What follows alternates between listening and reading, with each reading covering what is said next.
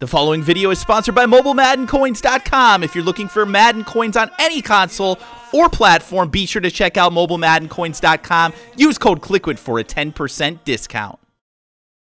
Yo, what is going on, guys? Kliquid here, back again with another Madden 17 Ultimate Team video. And guys, today what we're going to be taking a look at are the new solos that are in the game.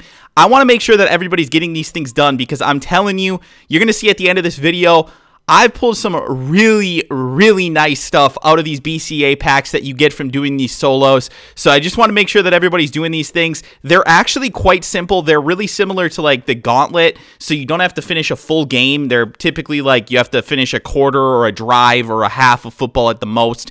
And also, guys, there are also the, the milestone ones. Make sure that you're going in and completing those as well as you can because those will actually get you a BCA pack as well. So today you do have to force a fumble, which is probably probably the most difficult one that I've seen. Uh, but a lot of times they're really not that difficult. It's like throw for 100 yards and a half or something like that. So uh, really not too difficult.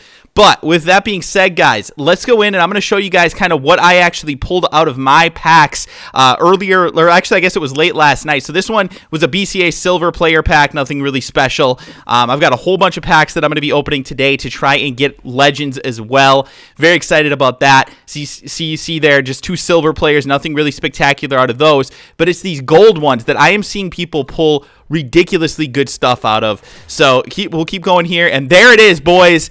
Eric Berry comes out of that pack. Random pull. I sold that thing for 90,000 coins. Definitely the best pull that I have had so far this year in Madden Ultimate Team, and it came out of a free pack from a solo challenge.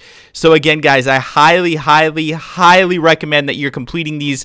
It's going to get you a lot of, of stuff and get you closer to getting those elites as well. Yo, uh, if you do complete all of the solos, you basically guarantee yourself an elite lit, if you do all the sets. So with that said, guys, that is going to do it for this video. Hopefully you enjoyed it. If you did, do me a favor, drop a like, subscribe to the channel if you're new, and I'll talk to you guys again soon.